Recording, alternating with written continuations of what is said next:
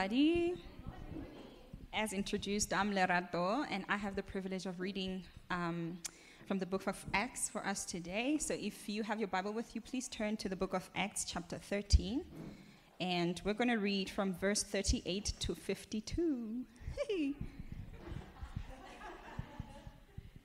and it reads Therefore, let it be known to you, brothers and sisters, that through this man, forgiveness of sins is being proclaimed to you.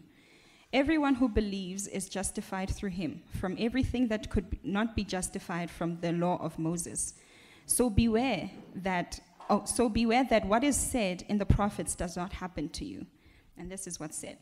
Look, you scoffers, marvel and vanish away, because I am doing a work in your days, a work that you will never believe, even if someone were to explain it to you.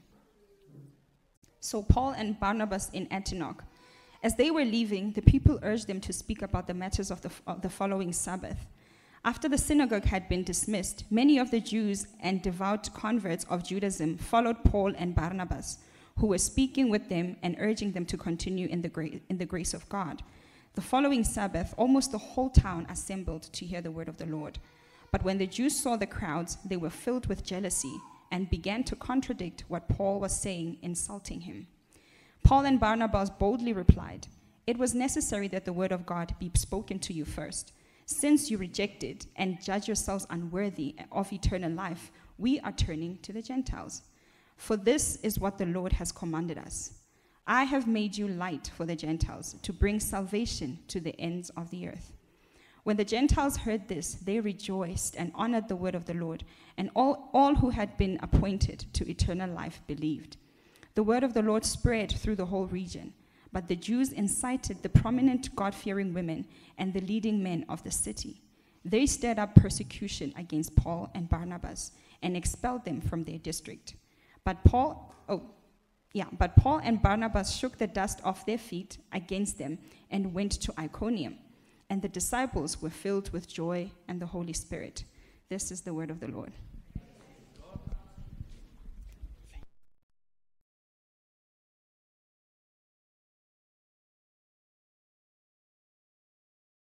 Look, fam, let's be honest, it's been a phenomenal morning so far. Look, I get a really, really great feeling when the Springboks win. And then when I gather with my brothers and sisters and we baptize people and we sing the way we did, I amplify that by 10. It's been great. So we've been well hosted by Kuliso. Thank you so much, mate. We were well led by Jake and the worship ministry. Thank you to them. We were well read by Lerato. I made a little dad joke there. It could also qualify as a pastor's joke. Thank you for not laughing. It was a little bit lame. Uh, Lerato, I don't know why you always get the big teaching texts. The first time she read, she read Psalm 42 and 43 all at once but you nailed it. Thank you so much. I'm excited to open up God's word with you. Before we do that, let's pray. Lord Jesus, you have become bigger in our eyes, in our minds, and in our hearts as we have gathered this morning, as we've sung about your love, your sacrifice, the fact that you were a substitute for our salvation, as we saw people being baptized, as we were encouraged once again to stay the course, to stay committed and faithful to you. Now we want to hear from you as we open your word. Thank you that we can do it in the setting. Thank you for the book of Acts. Thank you that we can get back into it. I pray, Lord Jesus, that we would see that we are on mission, that we would see that that mission glorifies you, and that that mission brings kingdom and wholeness to this broken and dark world. May your name be glorified as we open up your word illuminate our hearts and minds. We pray that in your name. Amen. So, fam, we're back in the book of Acts. The last time we were in the book of Acts was on the 31st of July of 2022. So, if you can't remember it, it's quite okay. Some of y'all weren't even here then. So, let's just let me bring you back up to speed. We are going to look at a whole series of slides.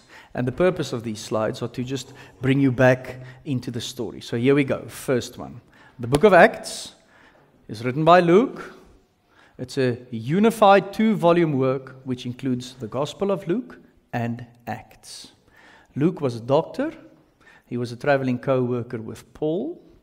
And you'll see how he starts the book. We're going to read that now as well. I produced my first account about all the things that Jesus began to do and teach And then the implication for the book of Acts is that it, this is about what Jesus continued to do and teach. Okay, so began to do and teach, continued to do and teach. I love the Bible Project. They say this, if we can look at the next slide. They say that classically the book has been called uh, the Acts of the Apostles, but a more accurate name actually would be the Acts of Jesus and the Spirit through the apostles, because that's exactly what happened. Jesus continued the work through his apostles by pouring out his Spirit on them. Let's look at the next one. This is what the book of Acts, well, Luke Acts, is actually all about. How God's kingdom came on earth as in heaven through Jesus and his Spirit and his church. That's a really good summary of both books. And then you'll see that in these two books we find examples of faithfulness to King Jesus. Okay, it's written as follows sharing the good news in word and action, that's being faithful to King Jesus forming diverse communities where people are equals. That's examples of faithfulness to King Jesus. And then the third one, trusting in the power and guidance of the Spirit, is also another example of faithfulness to King Jesus. Now, just look at it. Isn't that what you want? Isn't that what all of us want? Isn't this what we want to see in our church? I do. Or let me ask it a different way. How faithful are you to King Jesus if you measure yourself against these three things? Is your life filled with these three things? Even if it is, we still have some way to go. And that's why we need to get back into this book. And that's why we need to learn what this book has to say to us. Now, if you are here today and you are not a Christian, let me just say that what we're going to see today is a, well, actually, these three things is a really good summary of what ought to happen to you when you surrender your life to Jesus. That often happens when people say, Look, I'm interested in Christianity, but I don't believe yet. One of the things they want to know is what's going to happen to me if I believe that. That's going to happen to you if you believe. And it's awesome. And it's a great adventure. So there's a good summary for you of what it means to be a Christian. Now, today's teaching text started close to the middle of the book, in the middle of a sermon by Paul. So before we can dive in, we need to pick up the story. Are you guys with me? Now, stay with me because we are going to fly through the story. Okay, next slide. Here's what I want you to see introduction, Hella Hazard, a whole collection of events in Jerusalem a whole collection of events in Judea and Samaria. And now we are here, the missionary journeys of Paul. And eventually the book ends with Paul's witness in Rome. So this will be Acts season 3 for us here in the Lowveld. I'm joking. I made a, I made a weatherman joke. Okay, so that's where we're headed for the whole of season 3, chapters 13 to 20. Next thing that I want to show you is we have a discipleship journey at Fellowship City. We say this is what a disciple does. A disciple loves God and loves people. We say a disciple knows God, commits faithfully, and gives generously. And then we unpack with three really easy dashes uh, what that means. Today's sermon will lead us here. A disciple loves God and loves people and commits faithfully to transformation. This is now personal transformation into the image of Christ by the Holy Spirit. And definitely, a disciple commits faithfully to the mission of the church. So that's what we're going to talk about today our own transformation and the mission of the church, and how we should commit faithfully to it to, in order to love God and love people and be his disciples. Okay, let's go. Acts chapter 1, verse 1 to 3. I wrote the first narrative, Theophilus about all the things uh, Jesus, sorry, about all that Jesus began to do and teach until the day he was taken up after he had given instructions through the Holy Spirit to the apostles he had chosen. After he had suffered, that's important, that was part one of the story. He also presented himself alive, that's how the first part of the story ended, to them by many convincing proofs. Theophilus, this isn't a fairy tale, it's a real story, it's a fact appearing to them over a period of 40 days. And here's what he had to say he spoke about the kingdom of God. Cool. Then in 1 verse 8, it says, You will receive power when the Holy Spirit has come on you, and you will be my witnesses in Jerusalem, in all Judea and Samaria, and to the ends of the earth. So Jesus is alive. He tells his apostles what to do. They need to wait because something will happen to them. And when that thing happens to them, there will be witnesses. There will be witnesses everywhere, and there will be witnesses of the kingdom of God. So, did it happen? Yes. Here we go. Acts chapter 2 verse 1 to 4. When the day of Pentecost had arrived, historical timestamp, time and place and day, they were all together in one place. Suddenly, a sound like that of a violent rushing wind came from heaven, and it filled the whole house where they were staying. They saw tongues like flames of fire that separated and rested on each one of them. Then they were filled with the Holy Spirit and began to speak in different tongues as the Spirit enabled them. I don't know if you guys ever had this song at athletics at school. We've got the Spirit. Yes, we do. We've got the Spirit. How about you? We've got the Spirit. So the book says. Okay, important ingredient in the narrative of this book. And then something happened. Look at chapter 2, 41 to 42. So those who accepted his message, right? So Peter gets up, Peter starts preaching. They were baptized and that day, about 3,000 people were added to them. Boom! There we go. The first growth of the church was quite exponential from 120 to 3,000. And here's what they did they devoted themselves to the apostles' teaching, to the fellowship, to the breaking of bread, and to prayer. A learning community, getting together, reminding themselves of what Jesus did on the cross, and praying. Where? In Jerusalem. So remember, we said Jerusalem, Judea, Samaria, and to the ends of the earth. So that's Jerusalem. Now, in chapter 8, we see the story turn, and now we are headed to Samaria. Read it with me. Saul agreed with putting him to death. Okay, hang on, hang on, hang on. Who's him? Stephen. Stephen is preaching in Jerusalem. People don't like what they hear, even though he is speaking the truth. And Stephen is also showing that the whole of the Old Testament leads to Jesus as one unified story. The religious leaders don't like what they hear.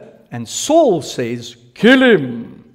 And then it says, On that day, a severe persecution broke out against the church in Jerusalem. And all, except the apostles, were scattered throughout the land of Judea and Samaria. Okay, bad way how they got there because it was through persecution, but they had to go there anyway after Jerusalem. So their persecution now leads to the spread of the gospel. Saul, however, it says, was ravaging the church. He would enter house after house, drag off men and women, and put them in prison. Saul poses a problem to the church. The church is now scattered. The church carries this message, the church has the Spirit, and the church operates in the power of the Spirit.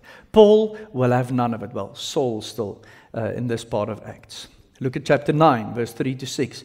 As he traveled, because he wanted to catch Christians, and was nearing Damascus, that's to the northern part of Israel, a light from heaven suddenly flashed around him. Falling to the ground, he heard a voice saying to him, Saul, Saul, why are you persecuting me? Who are you, Lord? Saul said. I am Jesus, the one you are persecuting. Okay, wait, wait. Jesus is dead, according to Saul. But Jesus is not, according to the church. So, how did Paul start, Saul, how did he start believing that Jesus was alive? Because the resurrected Jesus, the exalted Jesus, appeared to him.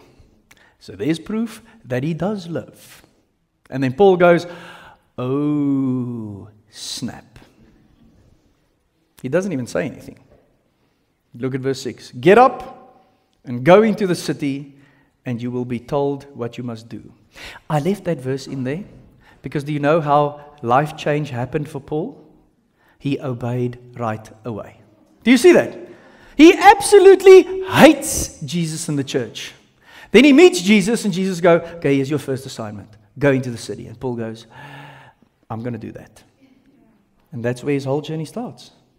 It's amazing, huh? Do you ever think about yourself and your discipleship journey in that way? If Jesus says something, do it. Obey right away. Okay, so now Paul goes into the city. Look at chapter 9, verse 10. There was a disciple in Damascus named Ananias. And the Lord said to him in a vision, I love this. Here comes a vision from the Lord. And what is he going to say? Ananias. Just that. Ananias. and Ananias goes, Here I am, Lord. He replied. Now Jesus exercises his authority and says, Get up and go to the street called Straight. The Lord said to him, To the house of Judas, and ask for a man from Tarsus named Saul, since he is praying there. In a vision, he has seen a man named Ananias coming in and placing his hands on him so that he may regain his sight. Lord, Ananias answered, I have heard from many people about this man how much harm he has done to your saints in Jerusalem. And he has authority here from the chief priests to arrest all who call on your name. Look, I'm not sure what Ananias' intention was, but he was scared, and I would have been too. So I think he was just sussing out, okay? Jesus, what exactly is it that you want me to do? Do you want me to go and get willfully arrested? Because that's cool, that's cool, that's cool. I'll do it. I just want to check with you, you know? And then Jesus answers him, Go. For this man is my chosen instrument to take my name to Gentiles, kings, and Israelites. A murderer who loved watching how someone gets killed with stones thrown against their heads. Someone who did not believe in Jesus, someone who actively persecuted Jesus, someone who hated his people. That person is my chosen instrument. Fam, we need to hear this. Because if I say Paul writes in Ephesians, we all have this picture of Paul was like the deputy president. You know what I mean? He's got PhDs and honorary doctorates and he knows everything about everything and he's such a nice guy. He wasn't a very nice guy. But still, Jesus chose him. And he chose him for a very specific purpose. That's why I highlighted it to take my name to Gentiles, kings, and Israelites. I will show him how much he must suffer for my name. That's an important cue. He wasn't called for holiday, he was called for suffering. And Ananias went and entered the house. Yes, obedience. He placed his hands on him and said, I like this, Brother Saul. I think that was just kind of to soften the, the tension. you know, instead of going, Saul, and being beaten, he went, Eta. He just kind of tested the waters and then went, uh, but, but, but, Brother Saul, yeah, it seems congenial, it seems good. The Lord Jesus, who appeared to you on the road you were traveling, has sent me so that you may regain your sight and be filled with the Holy Spirit. At once, something like scales fell from his eyes. He regained his sight, and then he got up and was baptized. And after taking some food, he regained his strength. Saul's back, but he's a completely different person. Why? Because he's now filled with the Holy Spirit and he's marked with water as one of Jesus's. Now he has a calling, now he has a mission, he has a word spoken over him, which will also be confirmed later in the book. Everything changes for Paul. This is important for us if we talk about what it means to surrender your life to Jesus. Surrendering your life to Jesus can't mean I was headed in this direction, I added Jesus as a passenger in my car, and I'm still headed in this direction. If you surrender your life to Jesus, everything changes about everything because now He's the Lord of everything. And then He gets to call the shots. Paul is a very important example of this. Okay, look at Acts 9:31. So the church throughout all Judea Galilee and Samaria had peace and was strengthened. Living in the fear of the Lord and encouraged by the Holy Spirit, it increased in numbers. It's a very convicting line for me. So, obviously, praise God for the little bit of peace that they did have. But then I think if someone would go on Fellowship City's Instagram, would they say, Ooh, this is a church where people live in the fear of the Lord? This is a church where people are encouraged by the Holy Spirit. And because this church's people are encouraged by the Holy Spirit, and because they live in the fear of the Lord, it increases in numbers. I think that's a phenomenal measure to use. Instead of this church looks like it's got really good music and great food and a nice space and a good kids ministry, and therefore they are increasing in numbers. That's not what the church in Acts were known for. This is what they were known for. Okay, now something happens to Peter, okay? While Peter was still speaking, look at Acts chapter 10. While Peter was still speaking these words, the Holy Spirit came down on all those who heard the message. Okay, hang on, hang on. Hang on.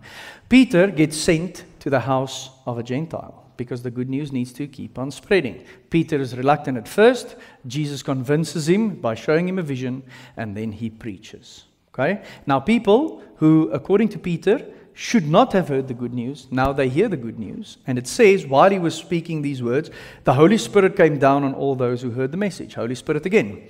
The circumcised believers who had come with Peter were amazed because the gift of the Holy Spirit had been poured out even on the Gentiles. Everyone gets to be part of this, and we don't get to decide who. Do you see that? Because Peter said in the beginning, no, no, no, no, no. And then Jesus convinced him. And then he was like, okay, okay, that's cool. I'll go. And then he speaks. And then Jesus decides to pour the Spirit out on these people.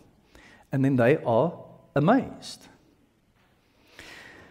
For they heard them speaking in tongues and declaring the greatness of God. Then Peter responded, Can anyone withhold water and, pre- and prevent these people from being baptized, who have received the Holy Spirit just as we have. He commanded them to be baptized in the name of Jesus Christ, and then they asked him to stay for a few days. The good news is spreading, and it's spreading to everyone. And the apostles' posture, according to the mission that Jesus has given them, is who are we to decide? Have you ever pondered that question? Who are we to decide who gets in and who doesn't? Who are we to decide who gets to hear the good news and who doesn't? We can't. That's why the Great Commission says, Go to all nations and keep on speaking and keep on proclaiming. It also doesn't say that you have to bring the conviction. It also doesn't say that you get to decide when you pour out the Holy Spirit. It just says, Do what I tell you to do. Now the church is growing. Acts chapter 11. Now, those who had been scattered as a result of the persecution, do you guys remember Acts chapter 8? That started because of Stephen made their way as far as Phoenicia, Cyprus, and Antioch, speaking the word to no one except Jews. So even though the Spirit was poured out on people who were not Jews, the people who were carrying this message wasn't sure if, they, if those boundaries have been broadened. But there were some of them, men from Cyprus and Cyrene, who came to Antioch and began speaking to the Greeks also, proclaiming the good news about the Lord Jesus. Who gave them the permission to do so? The Spirit. And then they did it. They weren't sure if they should, but they did. And look at it. The Lord's hand was with them, and a large number who believed turned to the Lord. News about them reached the church in Jerusalem, and they sent out Barnabas to travel as far as Antioch. When he arrived and saw the grace of God, he was glad and encouraged of them to remain, so, sorry, and encouraged all of them to remain true to the Lord with devoted hearts, for he was a good man, full of the Holy Spirit and of faith, and large numbers of people were added to the Lord. Isn't that great? Barnabas goes to Antioch and he goes, Epic! Look what Jesus is doing here. Hey, listen, will, will you go and get Paul for me, please? We need to do some work here. We need to do some teaching and encouraging here. Isn't that great? Verse 25 Then he went to Tarsus to search for Saul, and when he found him, he brought him to Antioch. For a whole year, they met with the church and taught large numbers. The disciples were first called Christians at Antioch. Do you actually know this verse in the book of Acts? It's quite cool. This is the first time where they were called people who carry Christ, people who look like Christ, little Christs a group of Jesuses, Christians. That's who these people are. Now, in Acts chapter 12, it says, About that time, King Herod violently attacked some who belonged to the church, and he executed James, John's brother, with the sword. This is bad news. And it poses a real problem for the church because the church is doing well, but now persecution is also stepping up. And James, if you guys watch The Chosen, he's the one called Big James. He was the first one to be executed. Now, Herod, it says in verse 3, when he saw that it pleased the Jews, he proceeded to arrest Peter too during the festival of unleavened bread. So persecution starts. It's not only Big James, but now it's Peter. Apologies for the fact that I called him Big James. That's a fictitious name from the chosen. My bad, James. Okay? Actually, Jacob, but we can go into that a little bit later. Then, verse 24 and 25, this is where we ended Acts season 2. But the word of God spread and multiplied. And after they had completed their relief mission, Barnabas and Saul returned to Jerusalem, taking along John, who was called Mark. Does that ring a bell? It's the same guy that wrote the gospel according to Mark. Okay. Then in the beginning of chapter 13, it says, Now in the church at Antioch, there were prophets and teachers Barnabas, Simeon, who was also called Niger, Lucius of Cyrene, Manaen, a close friend of Herod the Tetrarch, and Saul. So I highlighted Barnabas and Saul because they are currently in Antioch. As they were worshipping the Lord and fasting, the Holy Spirit said, Set apart for me Barnabas and Saul for the work to which I have called them. In our teaching text, Paul recalls the work which uh, th- they were called to. Then, after they had fasted, prayed, and laid hands on them, they sent them off. Do you guys see the story? Jerusalem first, then Judea and Samaria, and where are we going now? To the ends of the earth. And then they were sent off in verse 3.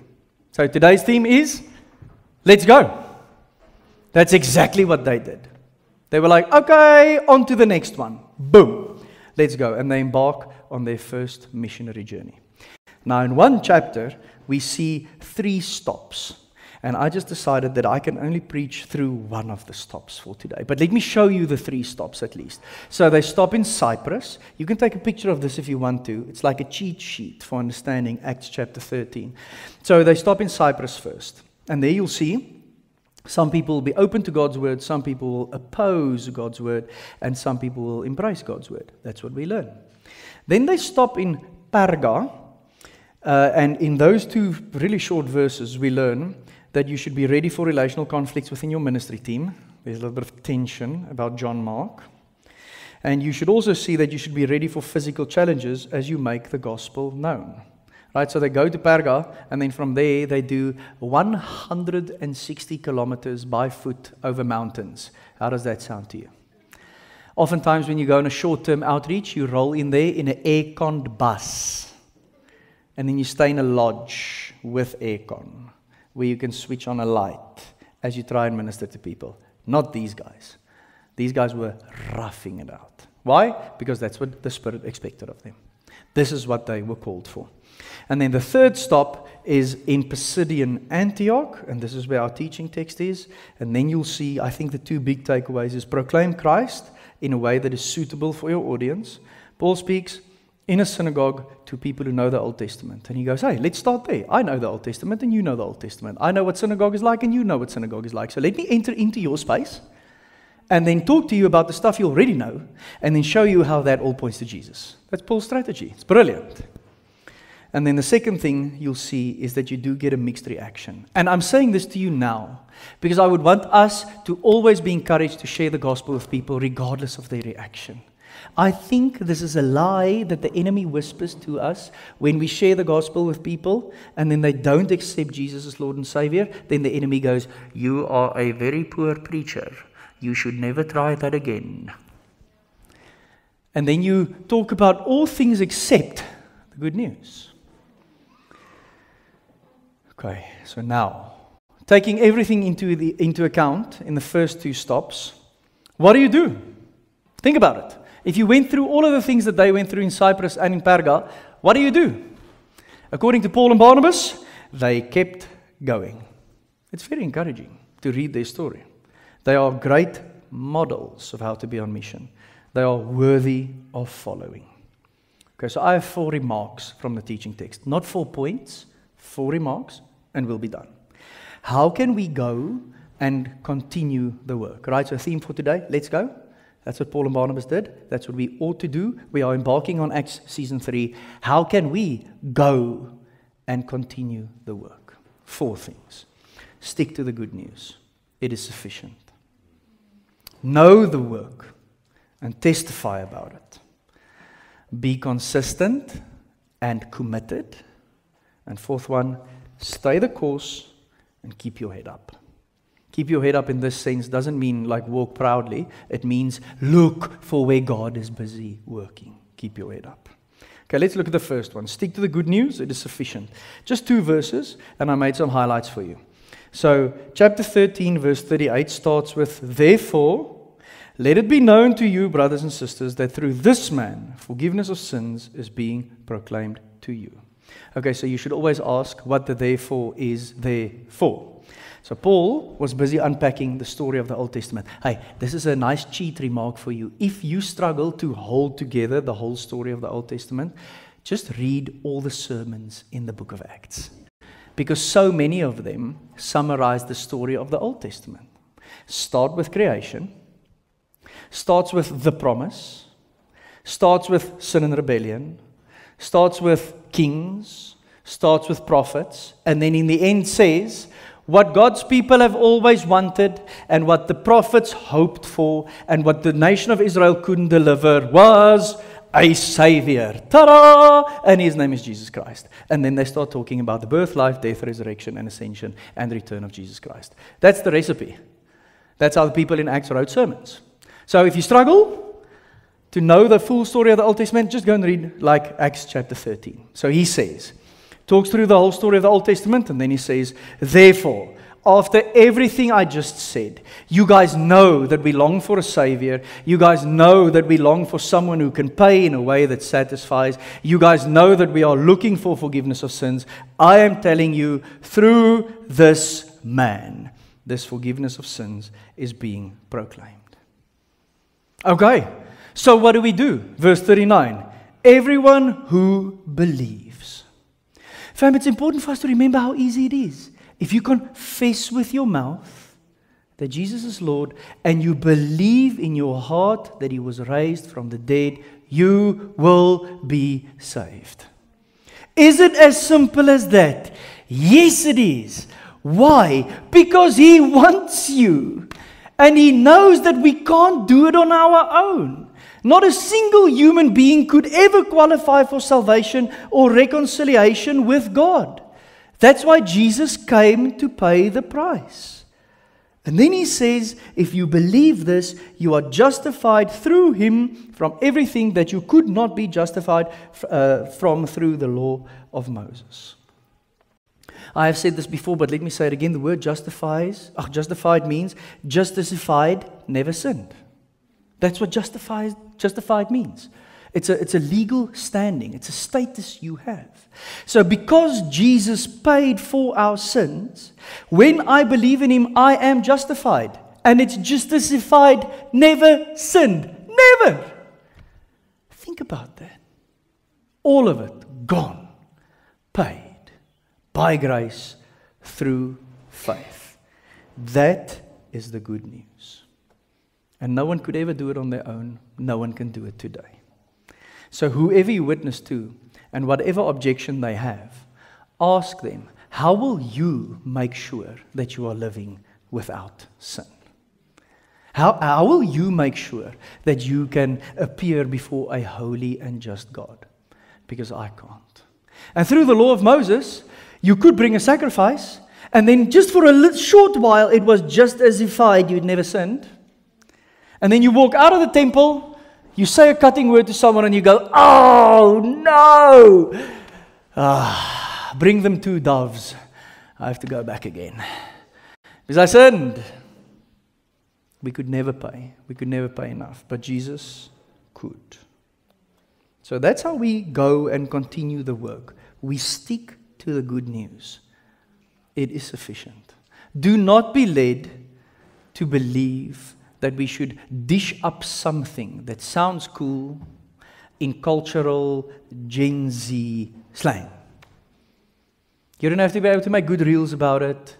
You don't have to be able to make it compete with Game of Thrones. Just share the gospel and talk to people about a loving God that wants to be in a relationship with Him and that made a way so that we can do it. And tell them that it just happens through belief.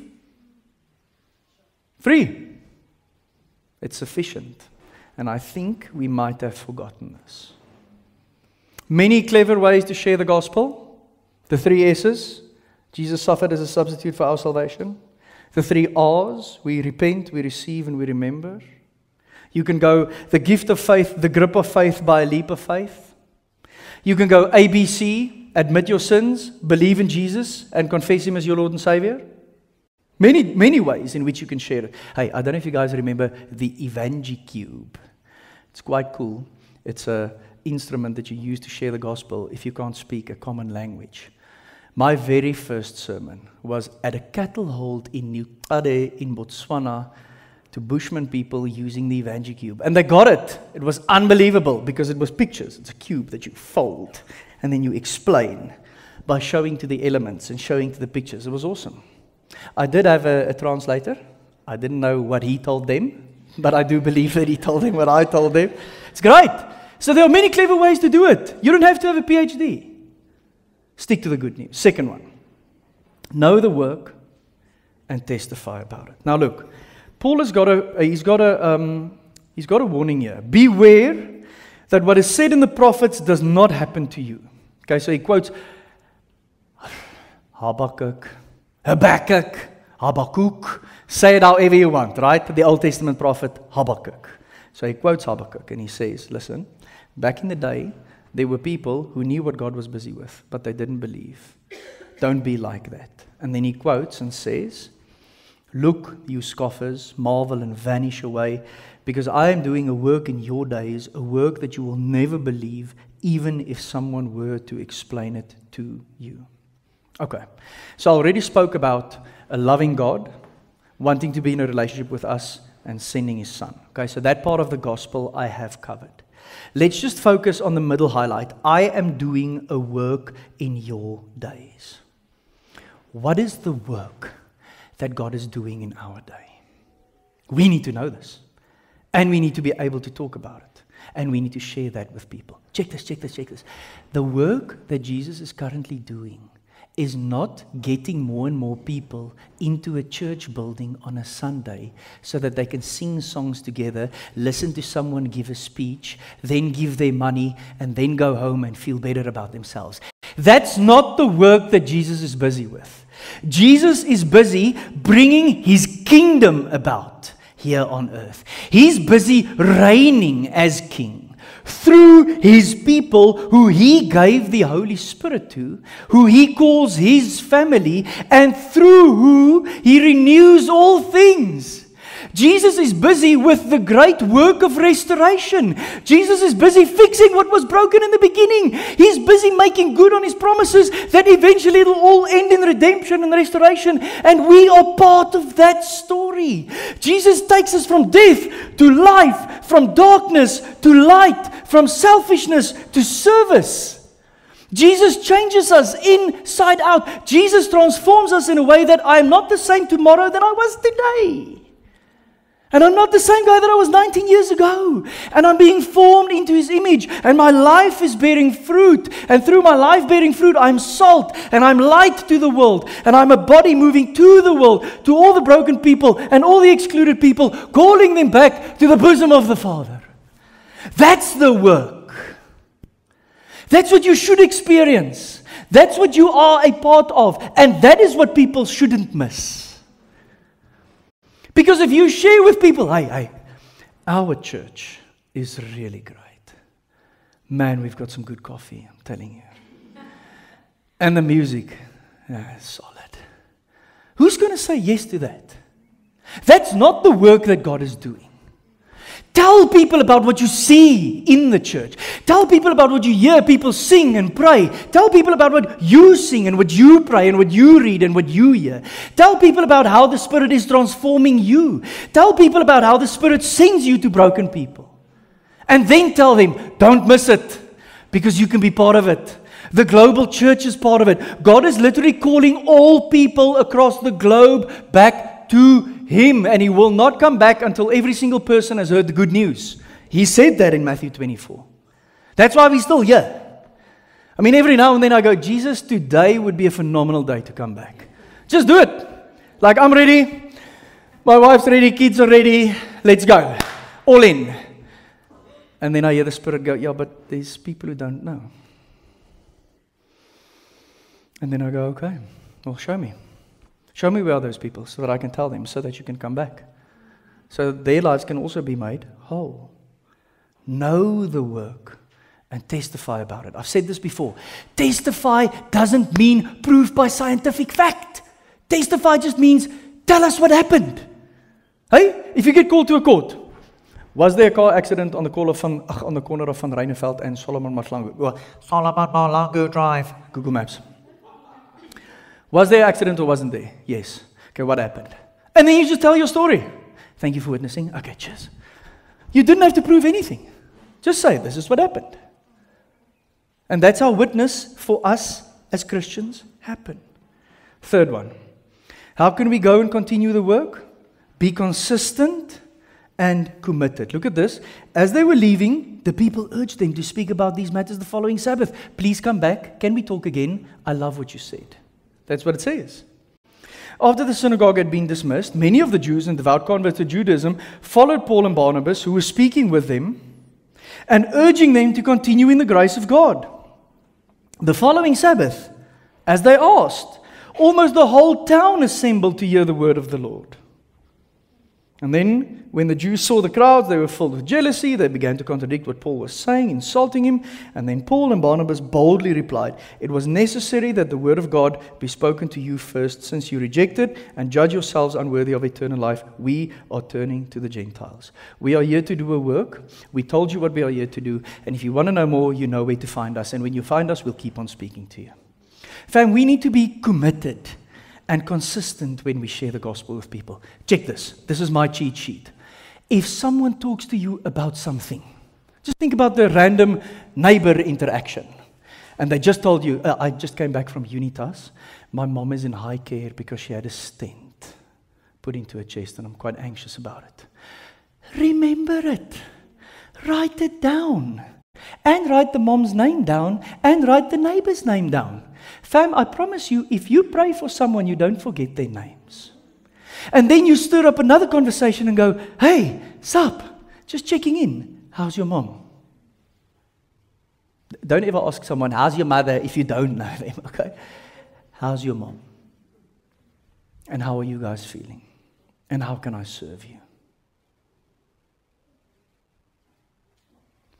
If someone says, Can we talk again? Write it down and then pray for them and then send them a text. Hey, checking in, how's it? Firstly. And secondly, uh, I'm still keen for a coffee whenever you are. Just saying. That's my secret weapon to getting into gospel conversations because then people go, Oh, really? I thought he just said, Hey, we should have coffee sometime. But now I'm writing it to them again. And then also be committed. Don't change your tune. Don't change what you're talking about. That's why I highlighted boldly replied in verse 46. It was clear to everyone what Paul and Barnabas were about. It should be clear to us what we are about. Okay? Think about this. Why would someone be angry with you if you are concerned for them and where they are going to spend eternity? Just think about that. If you live in a, in a place where your neighbor goes, hey, uh, your car's headlights are on, then you message them back and you go, ah, that's so sweet. Thank you so much for caring for me. I really appreciate that. So we appreciate something like my car battery won't run flat. If you tell someone that you are concerned for where they'll spend eternity because you do believe that there's a heaven and a hell and you want them to be in heaven and you've got some really good news for them because they can get into heaven and have their lives transformed, who would go, I can't believe that you would want that for me. That is the worst idea I ever heard of. No one will ever say it. So we don't have to be secretive about it. We can just be open about it. I would love to talk to you about Jesus. And I'm keen to do it whenever you can. Will you tune me? Yeah. Okay, awesome. Can I take down your name and number? Yeah, sure. Fourth one, and I'm going to finish with this. How can we go and continue the work? Stay the course and keep your head up. For this is what the Lord has commanded us. They said, I have made you a light for the Gentiles to bring salvation to the ends of the earth. We know what we're called to do. That's what we're busy with. We're not going to change our tune. We're going to keep going. When the Gentiles heard this, they rejoiced and honored the word of the Lord. All who have been appointed to eternal life, eh, sorry, and all who have been appointed to eternal life believed. The word of the Lord spread through the whole region. That's great news.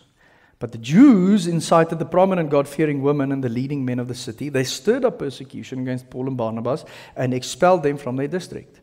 But Paul and Barnabas shook the dust off their feet against them and went to Iconium. It, look, it would have been awesome if the whole city came to faith. But they didn't.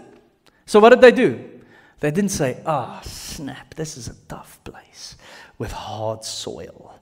Let's change our worship style. I think that'll work. Let's change the time of the service. Maybe we should have something that's appealing to the kids. None of that. They were like, okay, on to the next one. Iconium. Here we go. Dust off their feet. Let's keep going. Why? Verse 52.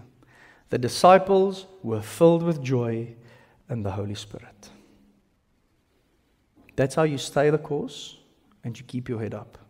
You're filled with joy and with the Holy Spirit. And you continue the work that you've been called to. And that's what we've been called to. Great story, isn't it? Amen. We are now going to respond in song. I just want you to, to consider these four things. The first one would be sticking to the good news and believing that it's sufficient. Maybe that's your response today. Maybe your response today is I need to really put my faith in this thing. I need to put my full weight in this. Jesus, plus anything equals nothing. But Jesus plus nothing equals everything. That's how mathematics work according to the gospel. Maybe that's your response, is to say, I'm going to put my full faith in this message and not believe in any add ons. I'm also not going to try and share any add ons. There's one thing, and that's the message of the cross and the resurrection. Maybe that's your response. It's just reappreciating the good news. I've said this to you guys before, but let me say it again. I, Rainer Meyer, as a disciple of Jesus, not a pastor of a church, need to preach the good news to myself every single day. And I listen to a sermon of someone else every single day telling me who I am because of what Jesus did on the cross. Every single day. I can't go a day without it. And if I try and do that, let me tell you about the worst day of my week. Because then I try and operate on my own power. I play according to a different audience and crowd. We play to an audience of one, and that's Jesus the Lord. Number two, know the work and testify about it. Maybe a good response for you today would be let me just write down how I have been transformed. Let me just write down how I've seen God move in, the, in my life and in the life of others. Let me write down just what I saw here today as a transcultural church celebrated the baptism of people. And let me think how that fits into the great mission of God in the world. And let me share that story. Imagine if you walk out here and someone goes, So, how was church today? And you go, I'm so glad you asked. It was epic. Do you know what happened? This is what happened, and this is what I saw. And I praise God for the work that He's currently doing in our church. That'll be a far better response than, it was all right. It's kind of hot in the building, I have to say, very sweaty, very humid. Maybe that's your response. Be consistent and committed. Fam, look, not rebuking, just encouraging. Maybe you need to make a call.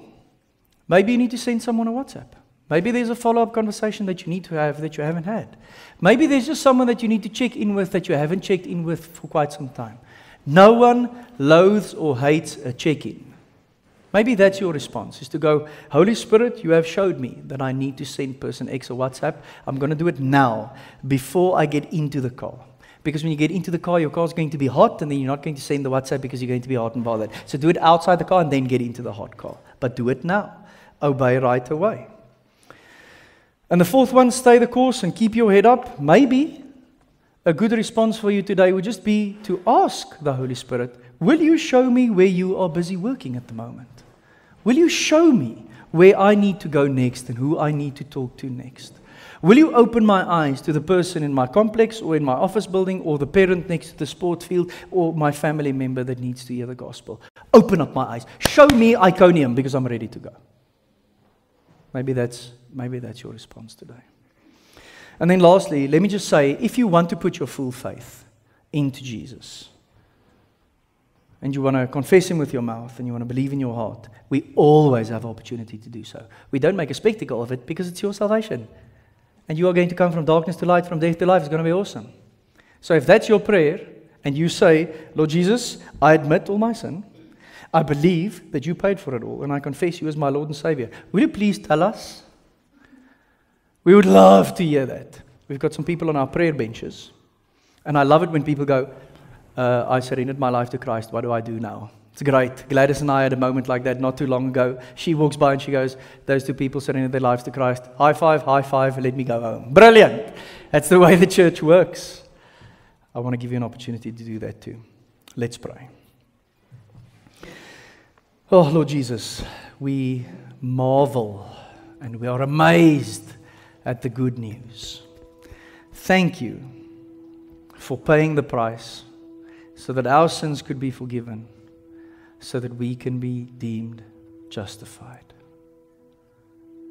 Thank you that all you ask is a leap of faith, belief in what you did for us. Thank you, Lord Jesus, that that message pierces our hearts and enriches our spirits every single day. And thank you that we can trust you to do exactly that to everyone who we share this this marvelous truth with. Do a work in us now, Holy Spirit. You know what each of our responses are. You know exactly what we need. We believe, as Paul wrote in Philippians 1, that you will complete the work that you started in us. So work hard now, Holy Spirit, as we respond. Keep us faithful, keep us committed. Keep us focused on the gospel. Help us to know the work that you do. Help us to testify about the work you do. Show us where and who is next. We want to see the church grow as it did in the book of Acts for your glory and for the completion of your mission. Here we are, Lord Jesus, ready to go like Barnabas and Paul. Send us. Fill us with your Holy Spirit, we pray. Amen.